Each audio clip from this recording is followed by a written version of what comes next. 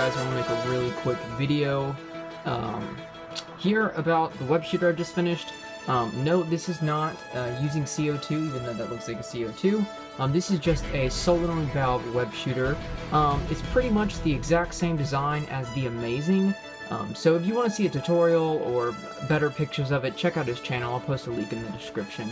Uh, I did make a few a few uh, minor um, just uh, just changes to it, I guess, uh, for my own design. Um, but pretty much, it's it's pretty much uh, the same of his his newest version. I think that's his Mark III. I'm not sure.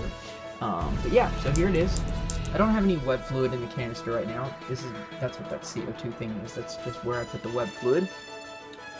Um, so this clicking sound is just the solenoid valve opening and closing. Uh, like I said, I did change things up a bit. Um, what it's on, I actually made, um, and I'll show you that later.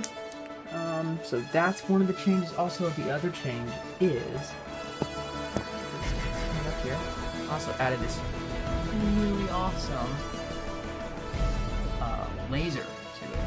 Well, not a laser, it's just a, it's just a LED light. As you can see, pretty cool. It actually goes pretty far. Sweet. Um, but I'll have to wire that in there separately. Uh, so yeah, let me break it down to you. So this is the battery. Alright. And then this is the actual web shooter. Alright. This is uh, where I keep my web fluid. Actually, the Amazing came up with this invention. Freaking awesome. So a lot of this credit is basically um, just his. Um, um, because he's just a brilliant mind. And like I said, check out his channel. He'll show you how to make this and everything if you want a tutorial to make one for yourself.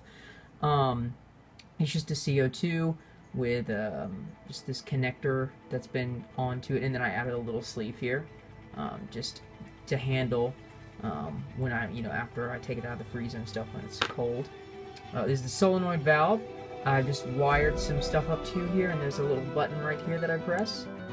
I can't press it now because there's no battery. And I have the LED right there.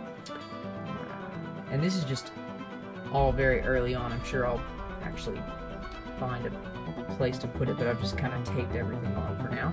Alright, and this right here is this fun little thing I made. Uh, it's just to absorb some of the impact um, that the web shooter has on my wrist. It's just nylon string with two buckles.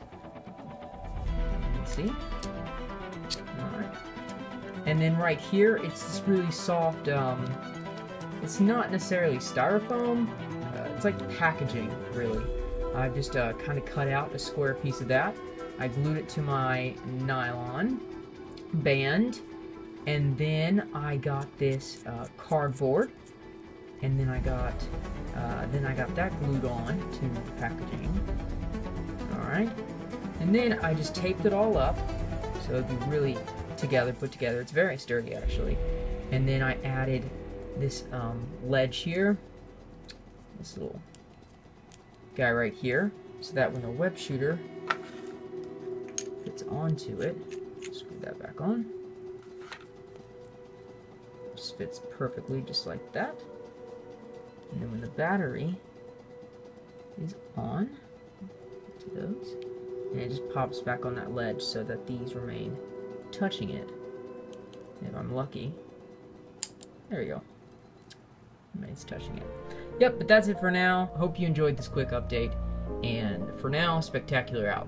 See you guys.